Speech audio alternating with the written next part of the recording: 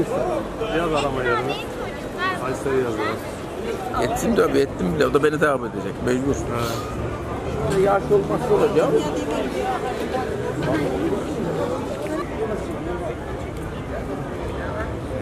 İmzalı bana geliyor abi özel.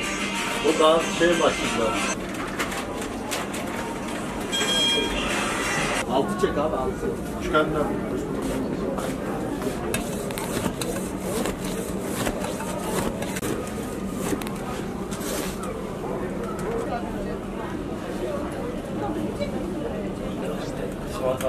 O da dükkan açtı bir de şey.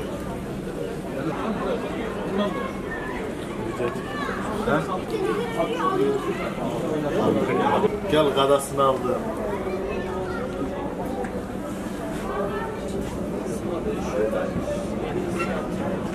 Ben kilosunu aldım. Size görüşürüz. Buralarda bak değil. Sen öğren şehirli misin? Kim? Senin telefon.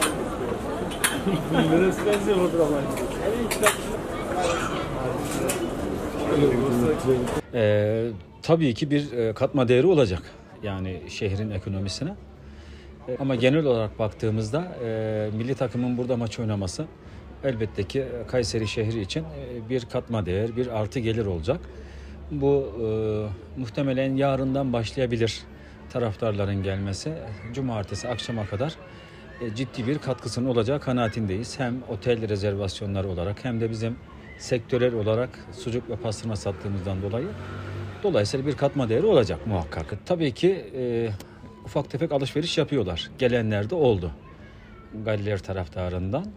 Tabii pastırma ve sucuğa biraz e, uzaklar, yabancılar.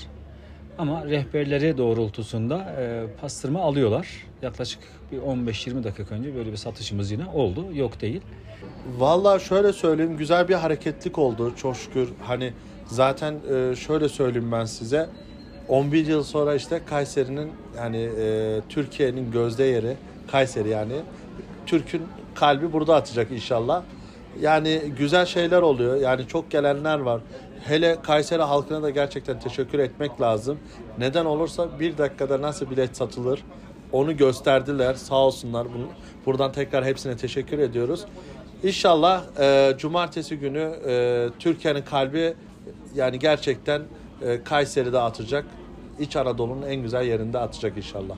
Yani ağırlayacağız. Gelenler olur. Onlara pastırma sucuk tabii ki ikram edeceğiz. Onlara ilgimiz, alakamız tabii ki olacak. Çünkü misafir demek Kayseri demek. Kayseri demek misafirpervermek demek.